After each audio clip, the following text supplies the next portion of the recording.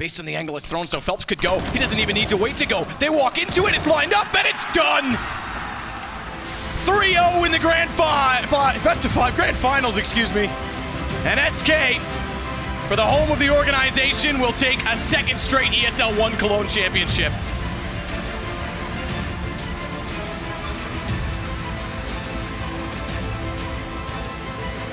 And what a way to do it as well. Cloud9 looked like they were in both of the last two maps. 10-5 lead for them twice in a row, and this one came even closer than Train did, but SK pulled it back. It might be a 3-0, but we're treated to as amazing rounds. Uh, great games of CS. It was a fantastic final. SK Gaming doing it again.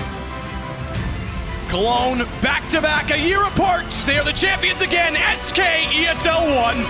Cologne powered by Intel.